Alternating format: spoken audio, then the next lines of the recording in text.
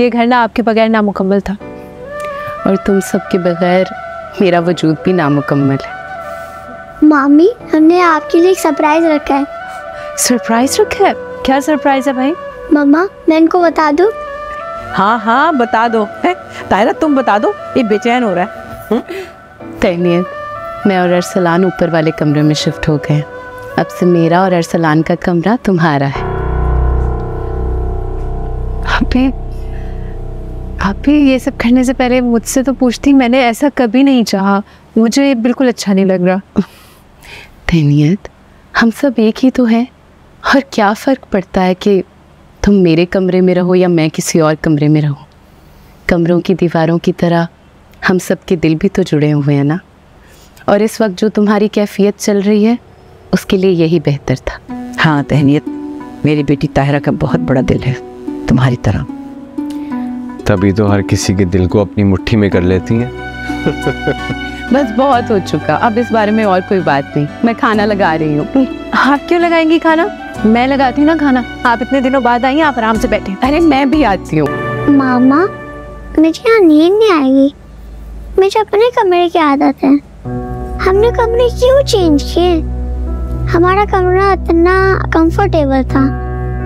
बेटा हमें खुद से ज़्यादा उन लोगों के कंफर्ट का ख्याल होना चाहिए जो हमारे करीब होते हैं। और जब हम किसी के साथ अपनी चीज़ शेयर करते हैं ना तो हमें खुश होना चाहिए।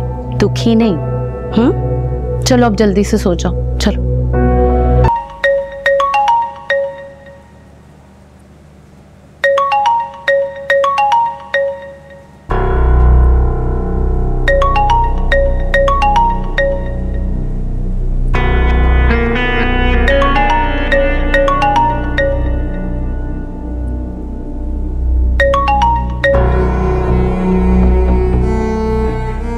क्यों कॉल करती हो नूरुल जो लोग अलविदा कह के ज़िंदगी से दूर चले जाते हैं। उनको बार बार पलट कर देखना या पुकारना अच्छा नहीं होता। वो ना खुश रह पाते हैं ना दूसरों को खुश रख सकते हैं।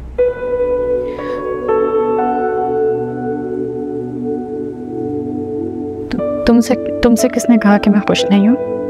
हम्म? ऐसी तो कोई बात नहीं है। और क्या बात है? खुद ज़्यादा ही तंग नज़र नहीं होते जा रहे हो।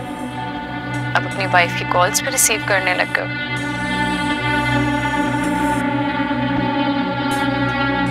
वैसे कि तंग नजरी। कि सख्त लहजा कि तंज महसूस तो ऐसा हो रहा है कि जैसे तुम खुश नहीं हो। क्यों? हम अपनी ज़िंदगी में खुश हैं या नहीं इसे तुम्हारा कोई लेना देना नहीं है। तुम बस अपनी ज़िंदगी में खुश रहो और हमें अपनी ज़िंदगी में मुतमईन रहने दो।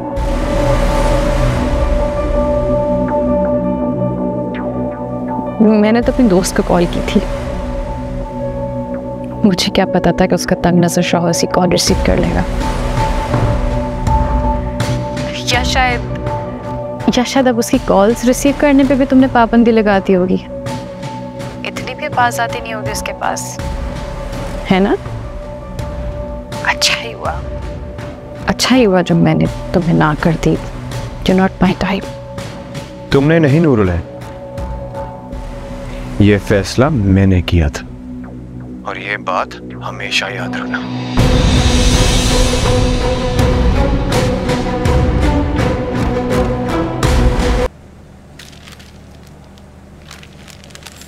और जो मिसेस राशिद की बेटी का जो आउटफिट था वो आ, ये वाला है ना?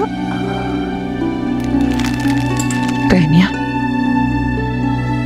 Tahniya oh God I think Murtaza को मैं कॉल करती हूँ। तुम्हें हॉस्पिटल लेके जाना होगा फ़ौरन।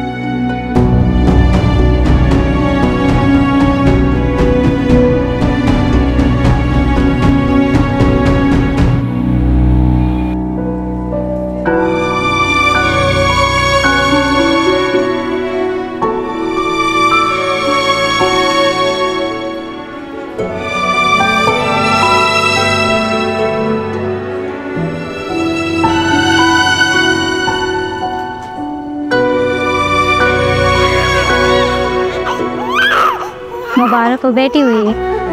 माशाल्लाह। अरे मुबारक माशाल्लाह माशाल्लाह। मुबारक हो। आपको भी बहुत बहुत मुबारक हो। देखो आसमा तो कितनी प्यारी है ना। तेरा शुक्र है। ये कितनी प्यारी है देखो मुर्तजा। जी आंटी मुझे तो बिल्कुल तहनीत जैसी लगी हाँ। बिल्कुल। मुबारक हो मुर्तजा। अल्लाह ने रहमत से नवाजा है तुम्हें। शुक्रिया आपी मैं अमीर ने ज़रा तहनीत को देखा। हाँ हाँ ज़रूर मेरी शान। माशाल्लाह। तहनीत रेडी हो? जी। ओह तुम्हें एक बात बताना भूल गया यार। आज रात हम लोग डिनर पे इनवाइटेड हैं तो प्लीज़ रेडी रहना। कहाँ जा रहे हैं हम? यार वो हमारे कंपनी के सीईओ हैं अमीर हसान साहब। वो अमेरिका से वापस आ रहे हैं। सारे एग्जीक्यूटिव्स वगैरह गैदर करें अपने वाइफ्स के साथ। फारूक हसन साहब ने स्पेशली तुम्हें इनवाइट करने को बोला है। मुर्तज़ा आप अकेले चले जाए। आपको तो पता है ना नेक्स्ट वीक मेरी लाहौर वाली एक्सपीशन है और मुझे बहुत सारे काम अभी रहते हैं। मिसेस फारूक तो दुबई चली गई हैं लेकिन वो सारी रिस्पॉन्सिबिलिटी मुझे देकर गई हैं। खैर, वो तो वहीं से डायरेक्ट लाहौर आ जाएँगे, लेकिन मुझे तो यहाँ से सारे ऑर्डर्स कंप्लीट करके भेजने हैं ना। और फिर एमल वो भी तो रात को मुझे कितना मिस करती है। तहनीत हमारा जाना बहुत ज़रूरी है। ईमेल को हम दादो और आप ही के पास छोड़ सकते हैं। कितना अटैच्ड है उनके साथ। हमसे भी ज़्यादा। सो प्लीज़ रेडी रहना मैं गाड़ी में तुम्हारा वेट कर रहा हूँ जल्दी से आओ।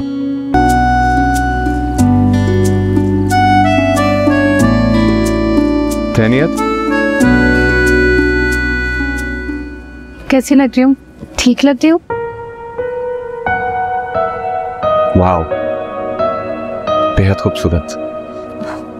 वैसे भी कोई बात नहीं है। फिर एक काम करो। कुछ देर मेरी आँखें उधार ले लो।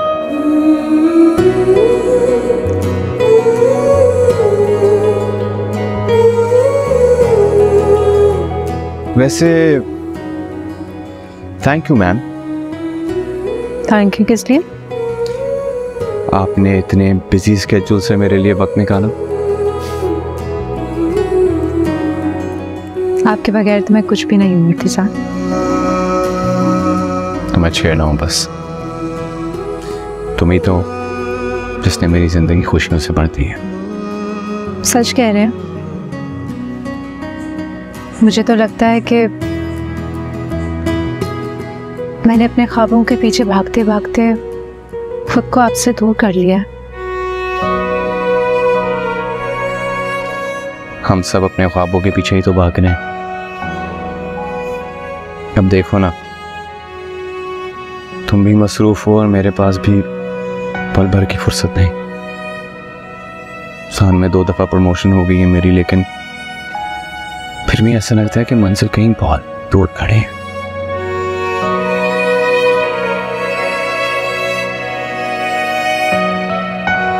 खैर, मैं तैयार हो जाऊँ तो चलें।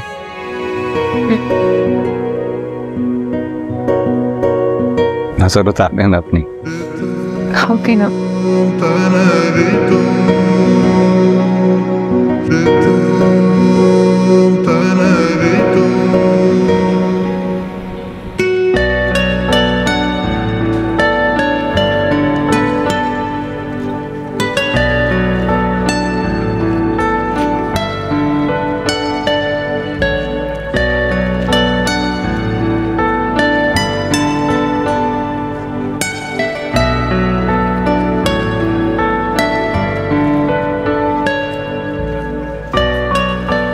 फारूक साहब वालेकुम अस्सलाम फाइन फाइन फाइन फाइन कैसे मेरा भाई अभी आप ही का ज़िक्र हो रहा था।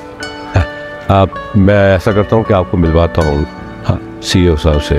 Please sir sure bye please आओ बेटा आप। अल्लाहू अल्लाहू। सोचा चट ये गुड़िया का हुआ हाँ अरे इतनी रात हो गई ये तो अभी तक जाग रही है अरसलान तो कब का सो गया। हाँ बस अम्मी लगता है तहनीत को बहुत मिस कर रही है। हाँ ऐसा ही लगता है। तुम ऐसा करो तुजा को फ़ोन करो कि आ जाए बस। आ, नहीं अम्मी वो दोनों इतने दिनों बाद किसी तकरीब में एक साथ गए हैं। ये तो वैसे ही तहनीत के बगैर परेशान हो रही है। आपको तो पता ना बच्चे माँ बाप से दूर कैसा फील करते हैं। हाँ ये भी ठीक है बस ये मैं सोच रही थी तहनीत से कहूँ कुछ दिन की छुट्टी ले ले भाई। इसको वक्त नहीं दे पा रही हो सही तरह। कुछ इसे भी टाइम दे कुछ अपने आप को भी दे। अब जो भी है दादी और पप्पू अपना दिल हथेली पे भी रखते हैं मगर माँ का निमुल बदल नहीं हो सकते। जी अम्मी आप बिल्कुल ठीक कह रही हैं। अम्मी आप आराम करें ना मैं इसको सुला देती हूँ। हम्म? ऐसे सुला के तुम भी अब सो जाओ काफ़ी देर हो गई है। बस सो जाए अल्लाह करे रात नहीं हो गई है समझ में नहीं आ रहा। बच्चे जागते रहे तो नींद कहाँ आती है इंसान को? क्या क्या हुआ अम्मी?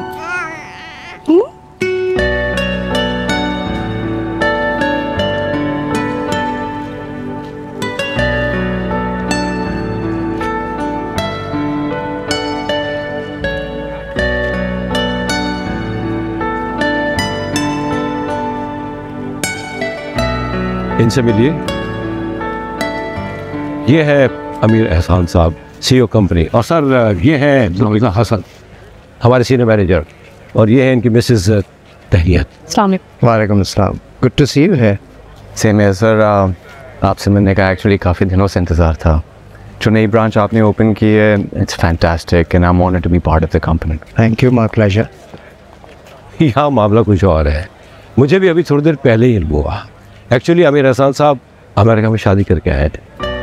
रियली हाउ नाइस सर बहुत बहुत मुबारक हो आपको। और ये सारी पार्टी जो है ना इन्होंने अपनी वाइफ के ऑनर में अरेंज की है।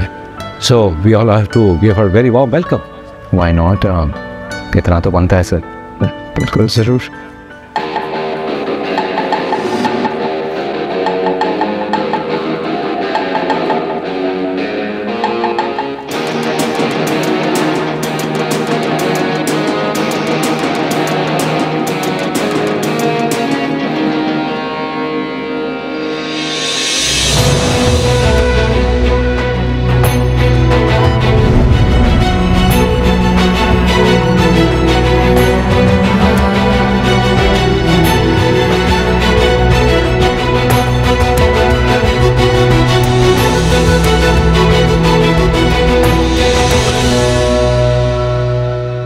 Hello everyone thank you for joining us today आप लोगों के आने का बहुत शुक्रिया।